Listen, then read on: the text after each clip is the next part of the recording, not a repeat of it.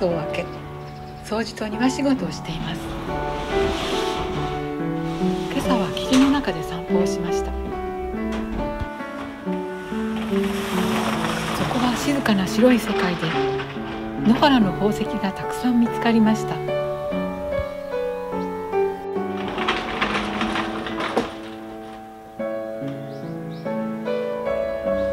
その宝石はすぐに消えてしまうのですが別にご覧に入れましょう。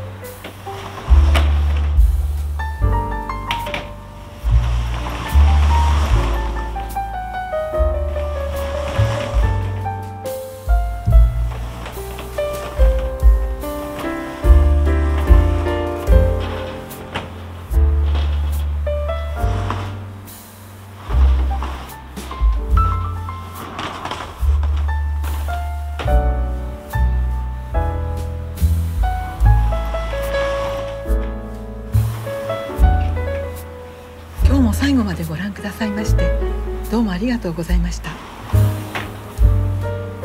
また来週お会いしましょう。